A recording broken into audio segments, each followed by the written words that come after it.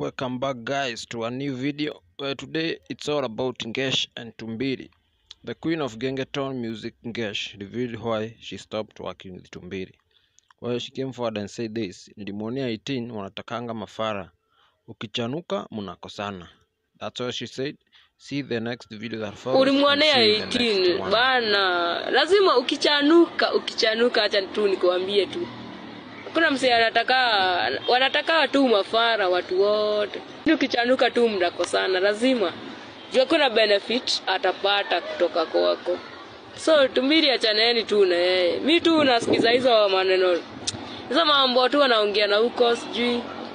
Gesh alisign contract na msee wa garage. Huyo msee kwanza ni beshi ya tumbili hata hivyo venye namchomea hapo pande moja ni Kaveve kazozo